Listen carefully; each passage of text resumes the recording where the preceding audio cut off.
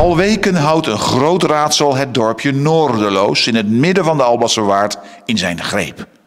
Hier op een van de kaders achter het dorp is de laatste maand een aantal honden verdwenen en nog niet teruggevonden. We staan hier aan de bewuste kade in Noorderloos met een hondenliefhebber. Meneer, u laat die hond hier gewoon uit?